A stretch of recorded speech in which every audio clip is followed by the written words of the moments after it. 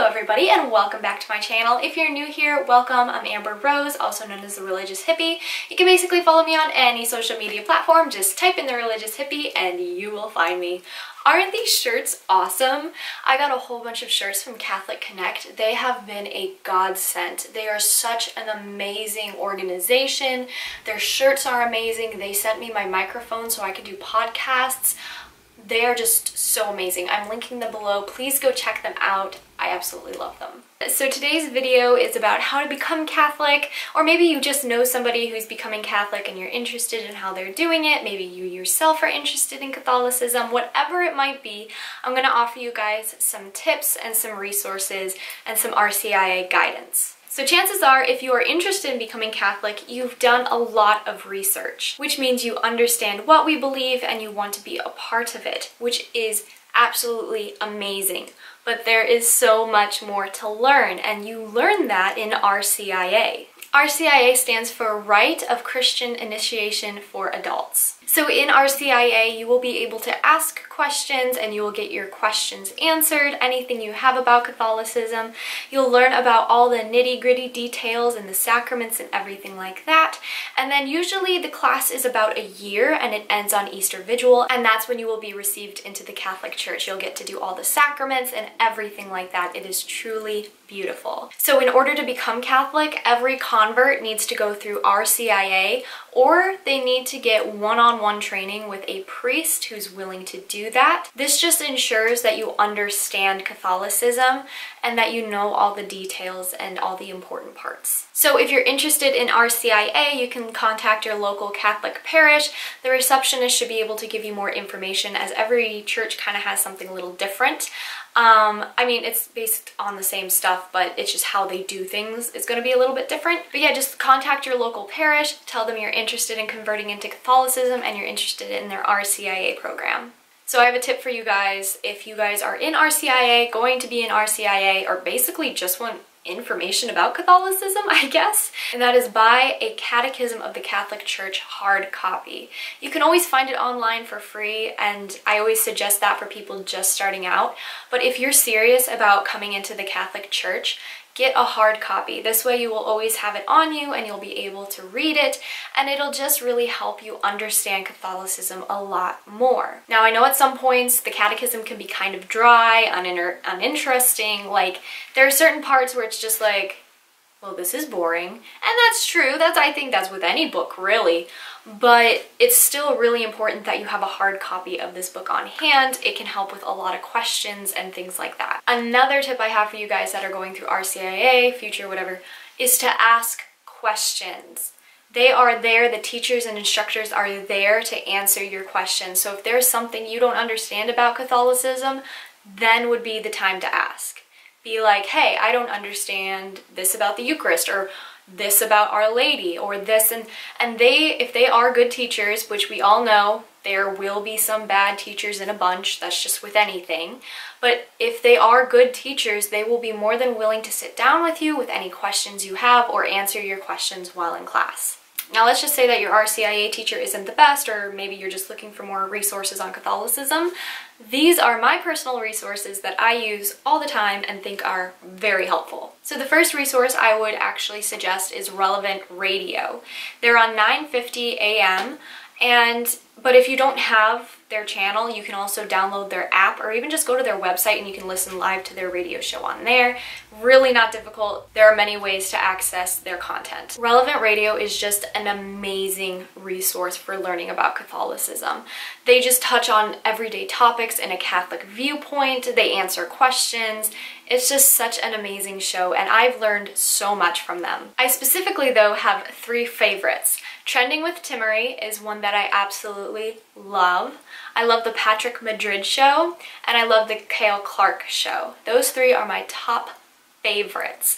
They go over so many questions that I have and I'm like, wow, the answer's right here. And they actually, you know, give you all the information you need from the Bible, from the catechism, from research. It's just such an amazing resource. Definitely take advantage of it. Okay, number two is Catholic Answers. Catholic Answers has a website, they have a YouTube channel that I'm pretty sure they have a podcast, but I don't quote me on that. Um, but they are just an amazing resource. Literally any question you have about Catholicism, you can just type in your question like, um, what do Catholics believe about the Eucharist, and then putting Catholic answers at the end. And they give you so much like biblical references, catechism references. Overall, their apologetics is just amazing, and all of their books are phenomenal. I absolutely love them. So I think they are another great resource to use. Number three is the Catholic Talk Show. Now, they have a YouTube channel and they also have a podcast that I listen to on Spotify. I love the diversity in their their videos and everything, they just touch on really cool topics, but also there is a, you know, a traditionalist, there's a modern or Catholic kind of guy, and then they have a priest with them.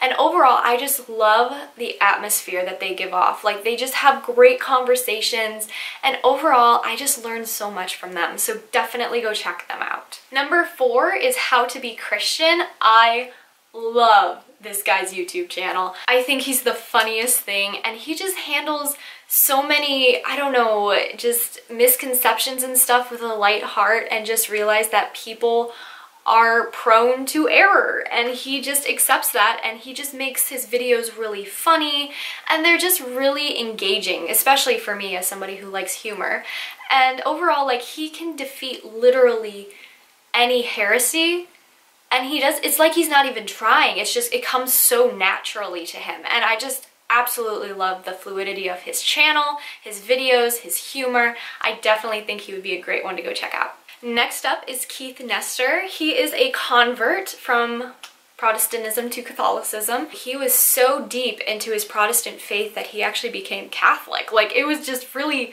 interesting to me and his conversion story is just amazing. His YouTube channel is just awesome. And I love how personable he is. He It really feels like he's talking to you about his story.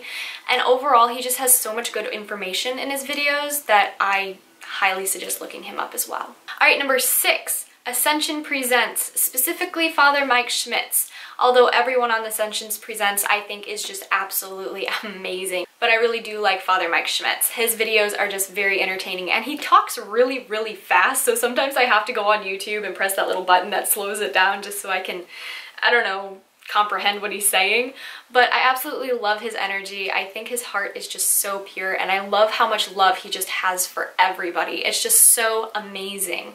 And also he's not afraid to speak his mind, but he does it in such a way you don't even feel like he's, you know, convicting you or anything like that. It's just like, wow, he's totally right. Like that is so something I need to do in my life or I didn't even know about that. Just in general, his videos are amazing. I also like Jackie and Bobby for relationship advice and just separate men and woman advice. I just think they're also very good. All right, number seven. If you have a TV or you like watching TV, EWTN is the channel for you. This is a Catholic channel. It's just like any other channel. It has different shows on, it has different information, it has mass times, the thing is, is it's just completely 100% Catholic and I absolutely love it so much. I used to watch this all the time as a kid and honestly they even have a website online that's kind of like a gaming thing for kids. I used to play on that all the time when I was younger.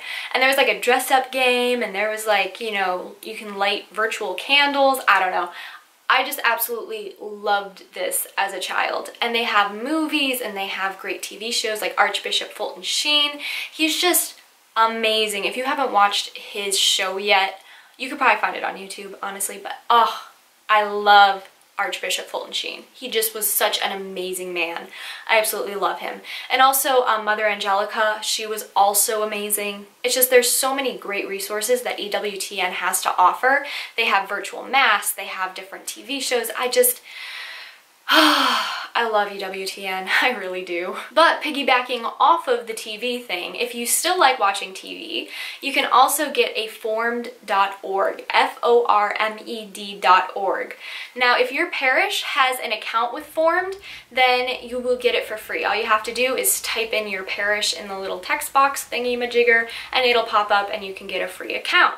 This is basically what I call like Netflix for Catholics. It has a whole bunch of Catholic movies, Lectio Divinas, you know, it has prayer, it has music, it has, you know, talk shows, it has it has a lot of stuff and I just, I take advantage of it as much as I can just because there's so much great information and it also follows the liturgical calendar. So if there's like a feast day or something, there's a movie or video or Lectio Divina that goes up depending on what liturgical holiday it is or day it is in general. And today's the 20th, this is going out the 21st. That's, the, that's like beside the point. But it's like they have videos about Saint Sebastian on right now because it's his feast day. So I just think that's really cool that they go in line with the liturgical calendar and I absolutely love that. So the next resources I am going to suggest are some books.